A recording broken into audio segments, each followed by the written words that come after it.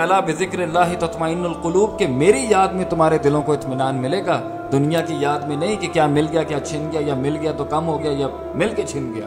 और मिला ही नहीं। नहीं, मेरी याद तुम्हें सकून और इतमान देगी तो यही फितरत है।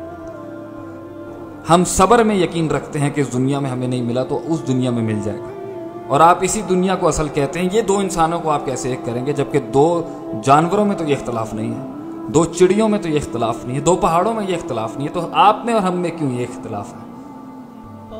दुख की बात यह नहीं कि वो हमसे इख्तलाफ करते हैं, दुख की बात यह कि आज मुसलमानों को भी ये बात समझ नहीं आ रही। उन्होंने भी इस दुनिया को असल बना लिया, जबकि नबी सल्लल्लाहु अलैहि वसल्लम का फरमान था दुनिया सिजनुल मोमिन व जन्नतुल काफिर। काफिर की ये जन्नत है, मोमिन का ये कैद खाना है।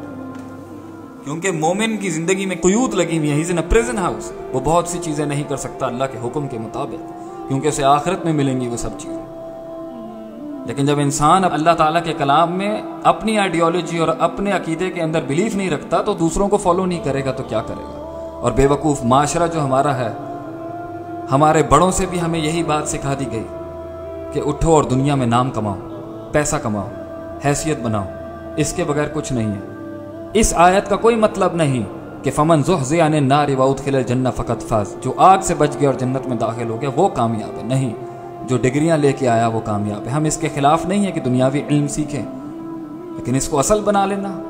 सोलह सोलह साल बच्चों को इसी तालीम के अंदर रखना कि वो पच्चीस हज़ार की नौकरियाँ करें, और दीन से गाफिल, बिस्मिल्लाह रहमान रहीम का तर्जमा भी नहीं आता। और इससे थोड़ा ऊपर का इल्म कि उसकी नाहवी सरफी तरकीब किया है। ग्रामर और अरबी ग्रामर के उसमें रूल्स कौन से हैं? कुछ नहीं पता। बा का क्या मतलब इसम का क्या मतलब लफ्ज़ अल्लाह का क्या मतलब और रहमान का मतलब क्या? अलिफ्लाम के साथ रहमान क्यों आया? रहीम क्यों आया?